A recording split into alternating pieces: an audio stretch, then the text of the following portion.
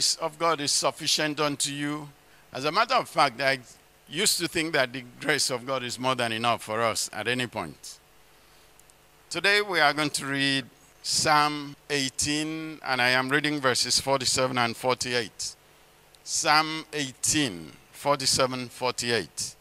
It is God who avenges me and subdues the peoples under me. He delivers me from my enemies. You also lift me up above those who rise against me. You have delivered me from the violent man. Wonderful psalm. Now, this is not the psalm of the person who says, God, come and deliver me. No, he already knows that he has received deliverance from God. I like to say this in whatever situation you are, if you are a child of God, he said, When you pass through the waters, I'll be with you, they will not swallow you. You pass through the fire, it will not burn you because I am with you. Realize that in whatever situation that you have found yourself right now, God is with you. And because He is with you, no evil will overthrow you, no evil will overtake you, no evil will destroy you. I like us to bear that in mind because He is with you. Praise the Lord. He delivers me from my enemies. You also lift me up above those who rise against me. There are so many forces that rise against some of us. As a matter of fact, it might as well be all of us. But there is one guarantee in God He will always lift you up beyond them. You know, if you are a child of God indeed, you are seated with Christ in heavenly places, far above principalities and powers. Whatever games they are playing, they can play the games, but none shall get you because you are way above them in heavenly places. None of them can get there to come and harm you. Yes, you live in the world, but you are not of the world. You are not subject to the rules and the rulers of this world. God will always lift you up beyond them. Say, It's God who avenges me. Is there anybody doing any harm, anything against you? Let the person continue. Leave it. God has a way of handling it. Don't go shout, God, avenge anybody. Don't look for how to bring vengeance. God says, Don't try it, for vengeance is mine. Leave that prayer that you hear people pray, God, kill my enemy. What kind of nonsense? Jesus says, Bless them that curse you, love your enemy. He didn't say, Ask God to kill them. So leave that side.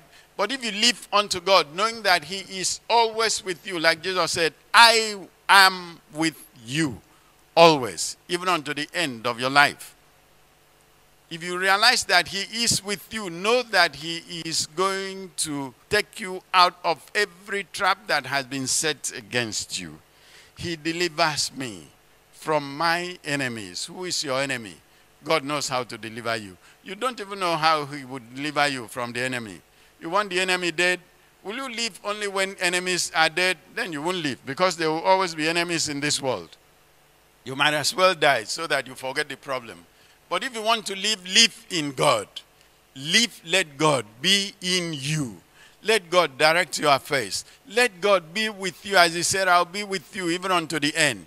Say, whatever you pass through, He said, many things will be done against you. Weapons shall be fashioned against you, but not one of them will be successful because He is with you. Nothing that can be done against you will succeed because God didn't ask them to do it. He said they will rise up, but not by Him. He has not given anybody authority to rise up to destroy you.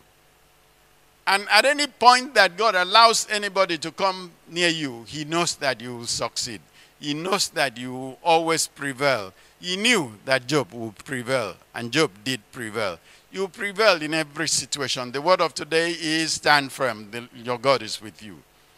That thing that you are seeing, you are way above them. That confusion that they are creating, you are far away from there. They cannot do any ill towards you. He has delivered you from the violent man.